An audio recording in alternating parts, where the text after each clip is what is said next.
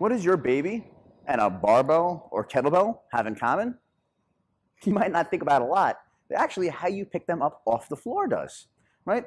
If I walk to a barbell, we have a movement called a barbell clean, where I can take the barbell from the floor, bring it up to my chest, and bring it back down to the floor.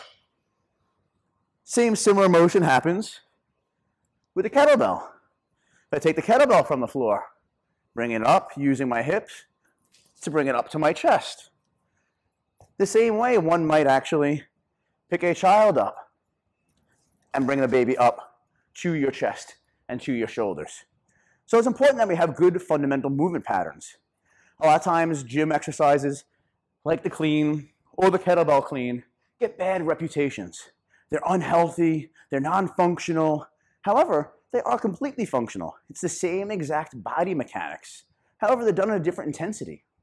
Whether we're picking our baby up off the floor, come here, little one, ah, huh, and getting them onto your shoulder, or we're picking the kettlebell up, huh, and getting it onto my shoulder.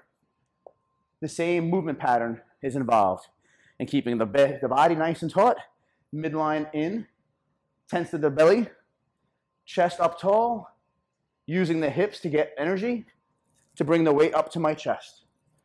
Whether it's a barbell, a kettlebell, or your toddler, movement skills are important. Remember, the needs of your grandmother and an Olympian differ not by type, but intensity. Olympian may need to do this with three, 400 pounds on a barbell. However, you being home, should be able to pick your groceries up off the floor, pick up a bag of mulch, and put it into the trunk of your car, and be able to lift it up effectively and safely, regardless of your health and well-being, by using proper mechanics and strengthening your weaknesses to overcome the adversities and limitations you may have.